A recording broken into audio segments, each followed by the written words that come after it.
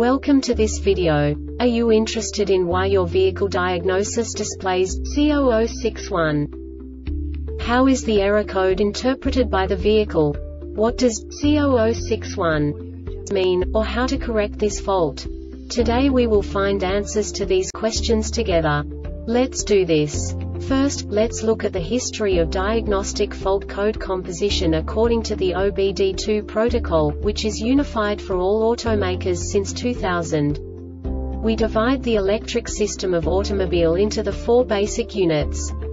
Powertrain, body, chassis, network. This distribution is defined in the first character code.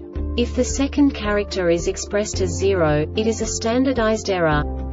In the case of numbers 1, 2, 3 it is a more prestigious expression of the car-specific error. The third character specifies a subset of errors. The distribution shown is valid only for the standardized DTC code. Only the last two characters define the specific fault of the group. Let's not forget that such a division is valid only if the other character code is expressed by the number 0. Our website airbagreset.sk produces useful videos for you. You do not have to go through the OBD2 protocol anymore to know how to troubleshoot any car breakdown. You will find all the diagnostic codes that can be diagnosed in a Fiat vehicles. Also many other useful things. The following demonstration will help you look into the world of software for car control units. You unbelievably can move the video a bit further. The error code is split into two bytes consisting of 16 bits. One bit is the basic unit that each computer works with. The bit has two logical states. 0, low level, 1, high level. By combining the first two bits, the basic character of the error code is expressed. The next two bits again determine the second character. The last beat styles of the first byte define the third character of the code. The second byte is composed of a combination of 8 bits.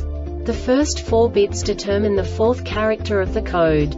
And the combination of the last 4 bits defines the fifth character. A single byte conceals 256 possible combinations. We now know in what way the diagnostic tool translates the received information into a more comprehensible format. The number itself does not make sense to us if we cannot assign information about it to what it actually expresses. So, what does the diagnostic trouble code C0061 interpret specifically Fiat car manufacturers? The basic definition is lateral acceleration sensor. And now this is a short description of this DTC code. The powertrain control module PCM receives a message over the CAN bus from the anti-lock brake system ABS module that there is a fault with the dynamic sensor. The dynamic sensor is located within the occupant restraint controller ORC. This diagnostic error occurs most often in these cases.